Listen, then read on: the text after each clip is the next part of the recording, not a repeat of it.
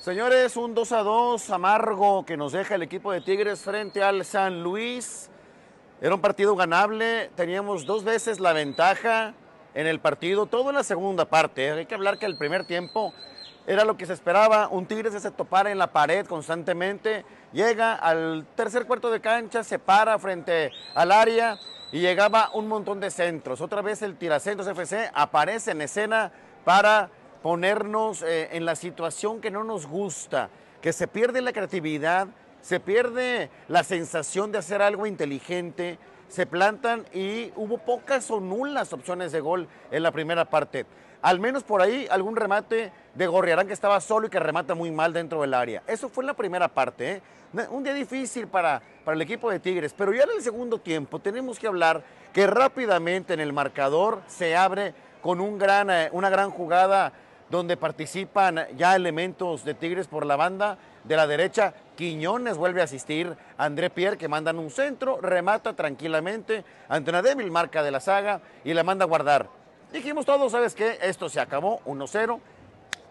Un más en la oficina, a cobrar, listos para eh, el siguiente partido.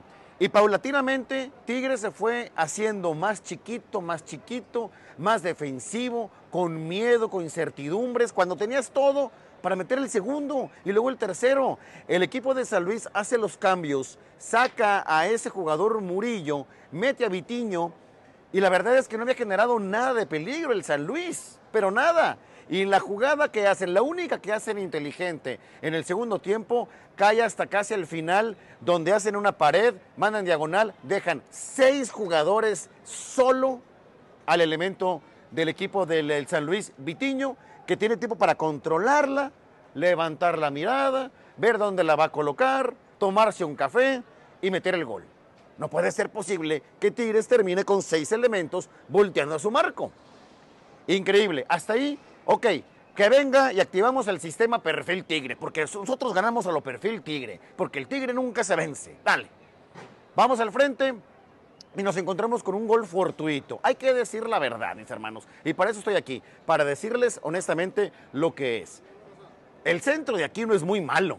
El centro de Aquino va hacia segundo palo, pega en el poste y afortunadamente pegó en el poste para favor de Ibáñez, el toro, que la manda a guardar de pierna zurda ante ya la descolocación de toda la defensa. Pero el centro era con, con intención de mandarlo a que alguien rematara, no a esa zona. Si tú me hablas de que fue un centro, para mí es muy malo. Si me hablas de que intentó tirar, es muy bueno, porque casi casi la coloca en el ángulo.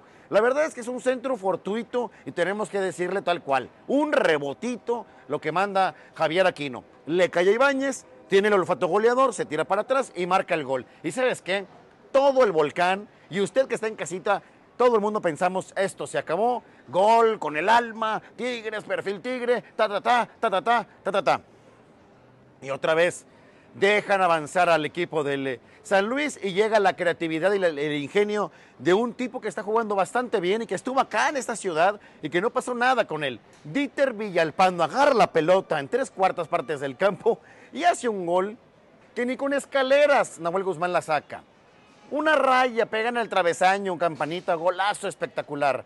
A eso me refiero, mis hermanos con que el perfil tigre no es el sistema de juego que ocupamos en el equipo felino. O sea, no es jugar a que siempre saquemos los resultados apurados, con esfuerzo, metiéndole garra. No se trata de eso, eso es palabrerío.